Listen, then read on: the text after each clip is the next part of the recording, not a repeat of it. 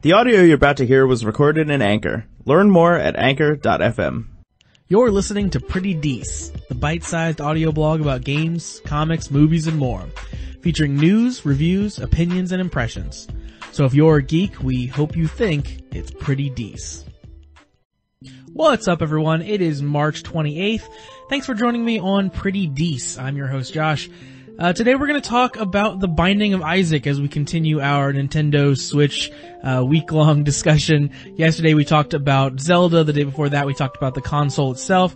Uh, today I want to get into a game that uh, was one of the first games to come out sort of after that initial like here's the games out for launch, and that's Binding of Isaac.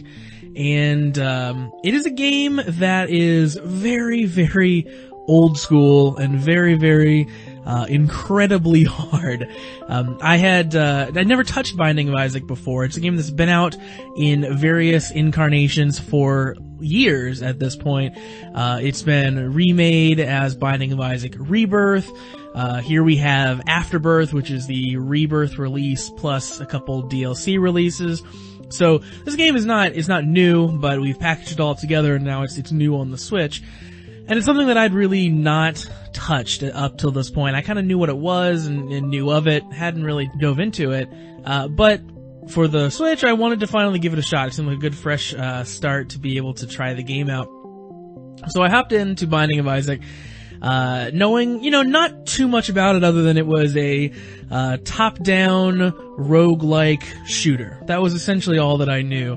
And yeah, I found out the game, as I said, was incredibly hard. It is, it is Dark Souls level of hard. You will die in uh, just a couple hits. Once you die, you're li- all the way done. All the way back to, to the very beginning. Um, you don't carry anything over between runs, so it is a classic roguelike in that regard. Uh, the most you will ever do between runs is unlock things. You will unlock items, you will unlock characters, and uh, you can take those characters into future runs. You may pick up those items that you've unlocked in future runs, but you'll never, you know, be accumulating health, leveling up, anything like that. So every run is going to be completely fresh, starting from kind of the same base uh, character, the same you know base item if your character has an item. And in a lot of games, I don't like that setup. I don't like games that are that punishing and that hard. Like I'm not a huge Dark Souls fan. And I was thinking about kind of what the difference between Dark Souls and Binding of Isaac is and why I like Isaac a lot more than I like Dark Souls. And I think in that case it really comes down to the controls. When I'm playing Dark Souls, I feel like I'm fighting the controls of Dark Souls. And Binding of Isaac, you can hand it to someone, it's, it's instantly understandable how to interact with the game. You tell them this stick moves, this stick shoots, they're off and running. You don't feel like you are ever trapped in animations. You don't feel like the game is what lost you your life. You always feel like you're the reason that you lost. You didn't move in the correct way, you didn't get the shot off in the correct way, and it's, it's your fault. And while that can be very harsh, while it can be very painful, uh, it's something that is actually makes it easier to hop back in, makes it easier to do another run and another run because you feel like any failure that happened, you can fix it the next time because it is all in your control. I'd originally thought that the uh, shooting would be a little off-putting because it's it's four directions. So unlike typical dual joystick shooters where you can shoot kind of in any direction you want in any way the stick moves, um, this you can only shoot you know up, down, left, and right. You can't even shoot on the diagonal which means that to kill enemies, you have to really get lined up very square with them uh, to be able to kind of get your your shot over to them. And while I thought that would be annoying, the game's kind of designed in such a way that, that that's part of the challenge, that it intentionally wants you to put yourself in danger because most of the enemies are also going to be shooting in various patterns that are going to force you to kind of be in, in danger as you line up a shot for yourself. So it, it becomes not so much of an annoyance, but just a, a factor into the hardness of the game. And, uh, it certainly hasn't been an issue so far, and I've kind of enjoyed the, the feel of it. You sort of understand where the stick kind of locks in at various spots to start shooting up versus left and, and so on. My one big uh, downfall for the game so far is that it is so intentionally vague. The game tells you almost nothing about it uh, as you are getting started. It doesn't tell you kind of what the the goal is really, other than continue down the dungeon and fight bosses, and it doesn't tell you really any way to unlock things. So.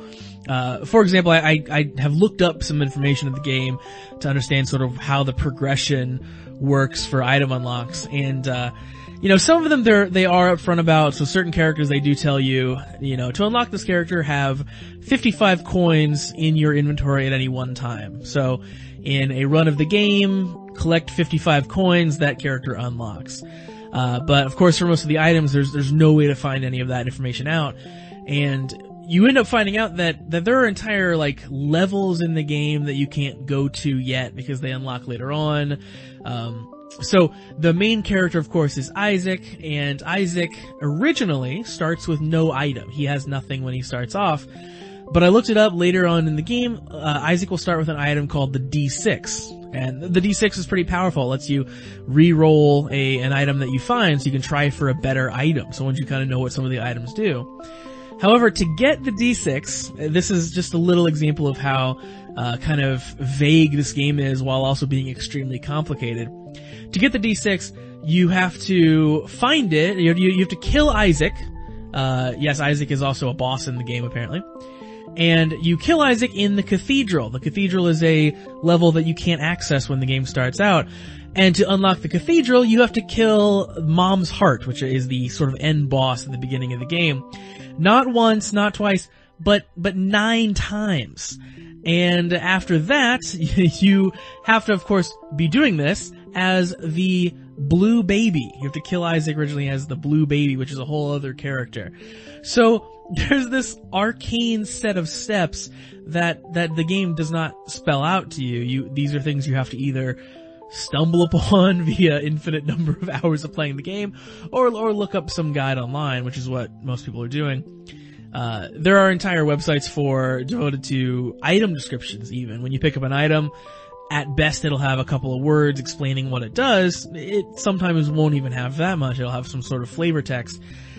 And you don't really know what it does, which is part of the, um, part of the learning experience of the game. You're supposed to try an item out, figure out what it does, remember that for the next run, but it can also be very, very frustrating as you, you know, if you don't have a lot of time to play a game and you don't want to, you know, completely mess up a run because you forgot which of the items was which. So that is sort of a, a big trade-off. The game is is very very vague. It's very old school in that regard. That it rewards you just sort of pounding away at it and trying to figure out its uh, its complexities. However, I will say the game. I've been playing it a lot. Uh, I've been completing run after run. I've I've been dying over and over again. Uh, I really I haven't even beaten sort of the the main first boss yet. Uh, after the first five levels, the, the mom's heart. Uh, so I'm I'm I'm just barely scratching the surface, but I've been unlocking some characters. I've been unlocking some items. I've been learning some of the different uh, movements and mechanics in the game, and I am really really liking it. Um, there is this this addictive, just one more run quality to it because the run, the runs are fairly quick and you are seeing new things every time because they're all procedurally generated. You're not going to have the same dungeon layout every time. So you do sort of just keep going and going and going, and after a while you've played the game for hours instead of the, the minutes that you had originally intended. So, you know, I don't know how deep I'm gonna get into The Binding of Isaac, but it is a game that I would like to keep playing and will definitely keep, keep, uh, keep hammering away at, even though my skill level maybe isn't, isn't the highest. Uh, but I will say that I think The Binding of Isaac is pretty decent. So thank you for joining me on Pretty Dece today. Uh, thanks for taking the time to listen through the station. If you liked what you heard, please favorite the station on Anchor, and uh, you can hear us first thing every single day. Uh, if you would like to follow the show on social media, we are on Facebook. Uh, you can find us facebook.com slash Pretty Dece Show. You can find uh, all of the random musings that we might put up, links to the show, links